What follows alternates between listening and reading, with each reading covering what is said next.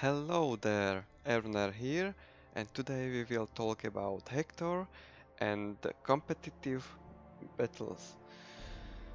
So, if you want to play Hector in meta, you will need to know that you really should be playing Hector's Chosen all the time. They are very good thanks to their immune flanking and their pretty good solid stats so this will be your elite core. Uh, to support them, you can choose uh, some good solid front lines. And I don't recommend bringing too much of them. And a lot of killing will be done by Hector's Chosen. Uh, for hero, you either choose Hector, uh, or otherwise you choose the Ravager for Terrify and Blood Sacrifice. For missiles I would bring archers for very fast skirmishing or renowned archer for more stationary uh, combat for long range combat. They might have just 160 range, but you will have to deal with that. The other, otherwise, these units have pretty solid DPS. As Hector, you want to bring chariots for sure. Then in the truth mode, we can decide to bring Corybantes. Corybantes are very solid spear front line. They are similarly st strong as Hector's Chosen. Even though Corybantes has been slightly nerfed, they are still pretty strong thanks to their shield wall formation. So uh, we know which units are pretty strong and how to build the army. Let's have a look at the map. Uh, the map is having uh, quite nice uh, trees and open field. So one chariot will be doing well on this uh, open field.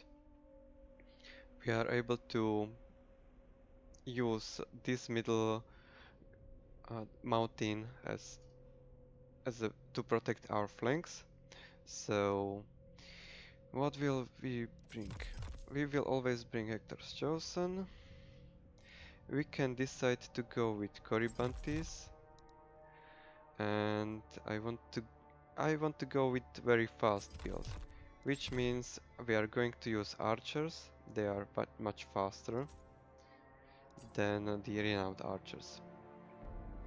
For hero, I think our elite units will be doing well, so I will be boosting them with the blood sacrifice. And then I need some fodder, some more units to bring. Then we got money for, let's bring for example this guy.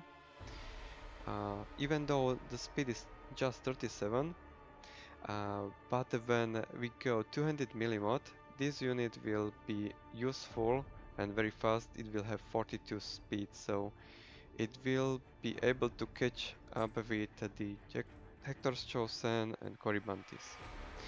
So, as I mentioned this would be a very fast mobile build and we got money for one extra unit.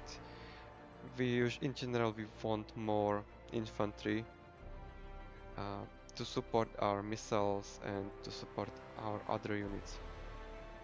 So, let's see how wisely can we spend money. And I think we would be able to go to battle like this. So, our battle plan is relatively simple. Uh, and I will shortly tell you how would I approach this map? So, one common battlefield is area right here. Uh, usually people contest uh, this forest. Enemy will definitely want to go inside the forest and then be protected. And we can go ahead and challenge him to go forward, we, we can try to do flanking around like this. The second approach is on this open field. If opponent is more likely to be on the open field, we are going to place our chariot here and and make a, a wide line. So let's say okay so we got very fast mobile units. We will want to quickly get this uh, forest which usually will be covered. And we want our chariot somewhere here. So okay. How and now I will just make an example how would I deploy my units? So got idea how to use your uh, we got some forest here. That's perfect. We can hide our units right here.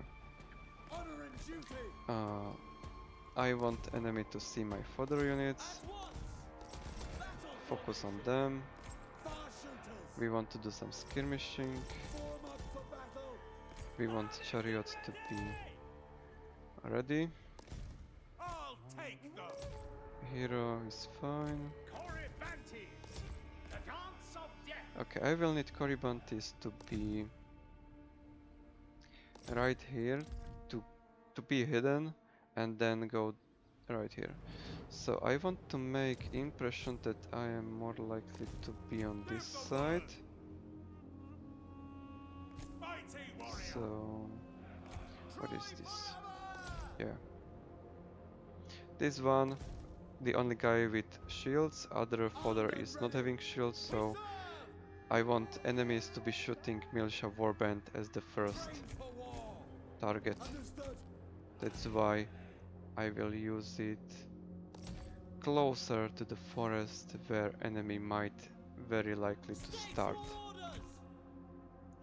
Okay, do I want to scout?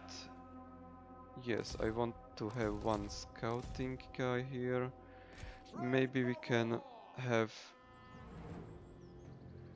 this scouting unit here. But since we are going to quickly conquer the forest, we don't have to do that and I will need this unit to hold enough for my archers.